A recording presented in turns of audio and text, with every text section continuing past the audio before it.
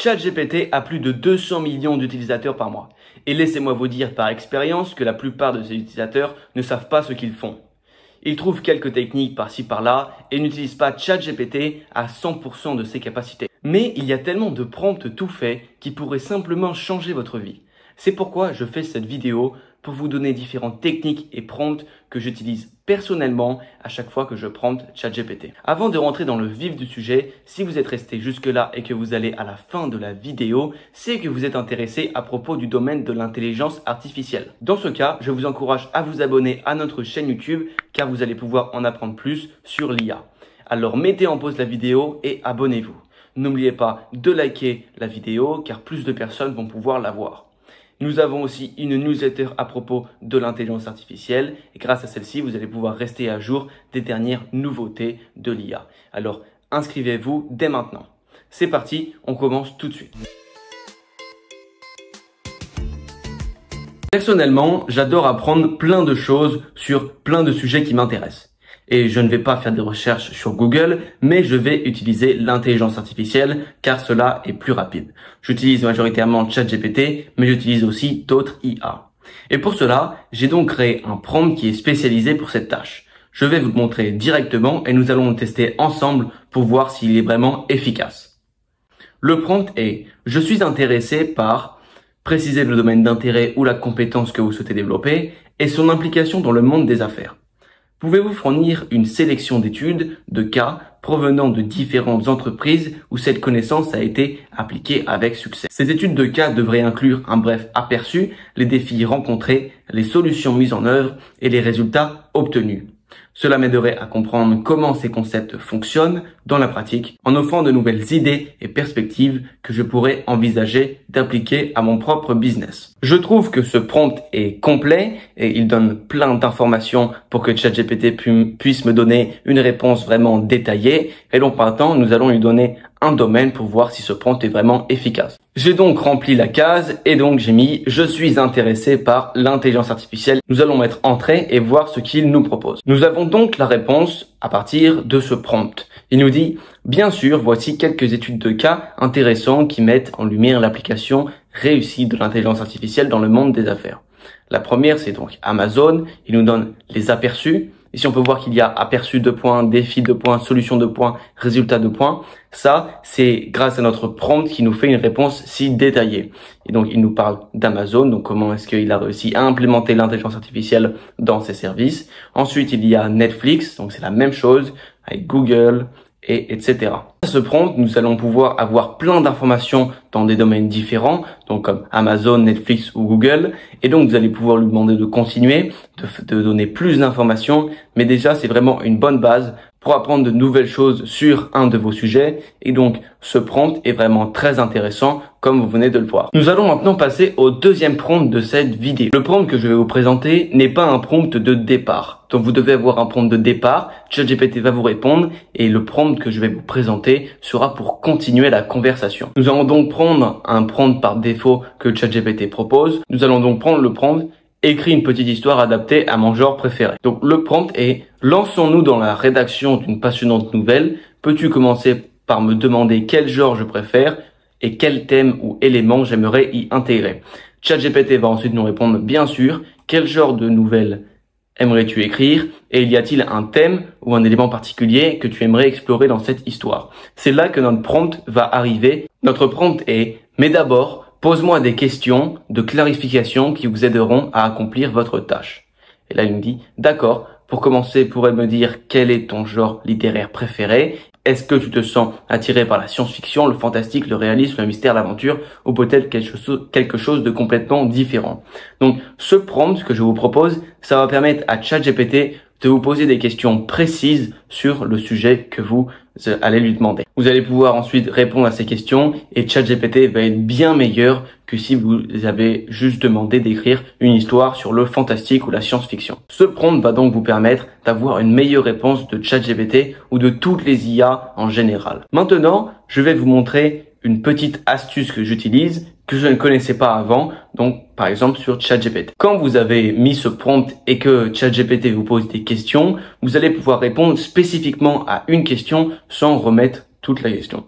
Vous avez juste à surligner cette question et appuyez sur ce bouton. Ensuite, vous voyez que dans la barre où on écrit le prompt, il y a cette question qui est mise et nous allons pouvoir directement répondre. Nous mettons science-fiction et vous pouvez voir ici que nous avons répondu exclusivement à cette question. Si vous ne connaissiez pas cette astuce, c'est vraiment intéressant de l'utiliser quand il y a plein de questions.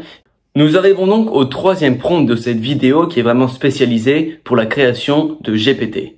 Nous avons donc un prompt, il est, comme vous pouvez le voir, il est vraiment très long. Et si le prompt il est vraiment très long, et donc nous allons mettre entrée. ChatGPT est donc en train de répondre, et donc il demande, commencez par définir clairement le but objectif de votre chatbot. Nous allons mettre que le but, c'est de créer des emails formels. Le but est de créer des emails formels. Et maintenant, il va nous poser des questions pour vraiment vérifier et pour que, pour que le GPT soit vraiment spécialisé.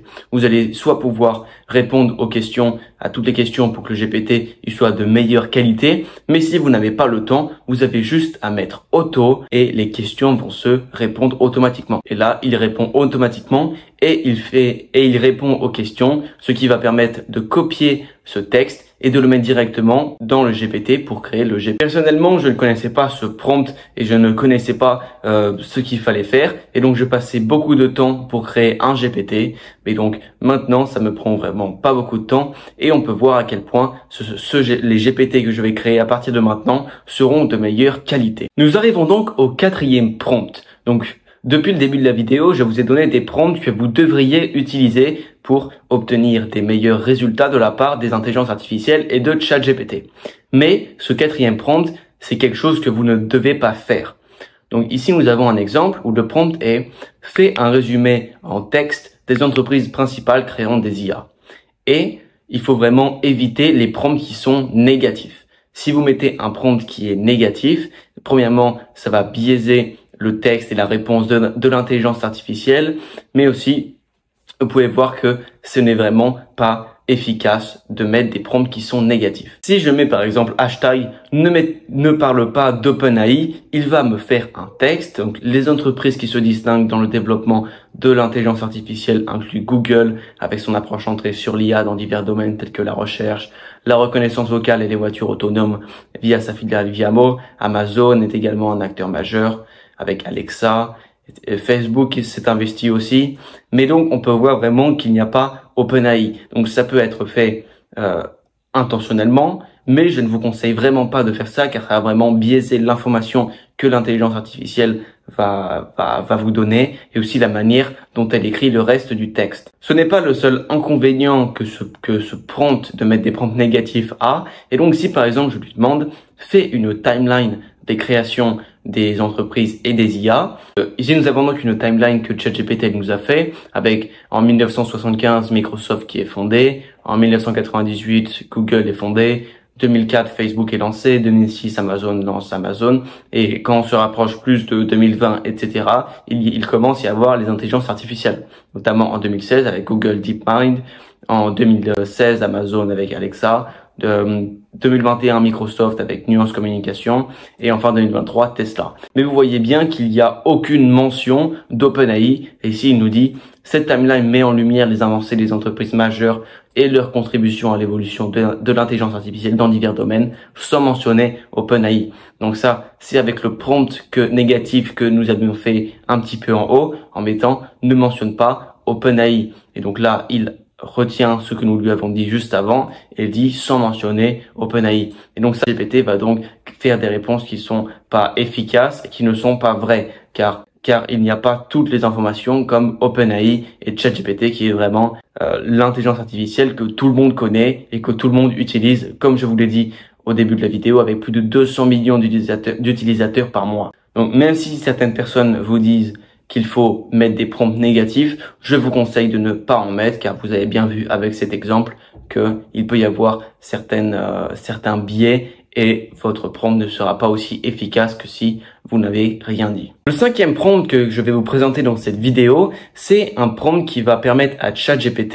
et qui va vous permettre de réutiliser ce prompt et de réutiliser sa réponse à chaque fois. Nous savons que ChatGPT est très fort quand il a un modèle précis. Et c'est ce modèle précis que nous allons créer avec un prompt que vous allez pouvoir réutiliser à chaque fois. Je lui dis, écris un email. Il nous répond ensuite, bien sûr, pour qui est-il destiné et à quel sujet. Je le dis qu'il est destiné pour mes collègues quand j'ai un problème avec une tâche. Donc là, ensuite, il nous écrit un euh, email. Donc pour l'instant, c'est juste un email écrit par ChatGPT. Et ensuite, nous allons donc prendre le prompt et c'est transformer ceci en un modèle réutilisable. Il dit, bien sûr, voici un modèle d'email que vous pouvez réutiliser chaque fois que vous rencontrez un problème avec une tâche et avez besoin de l'aide de vos collègues.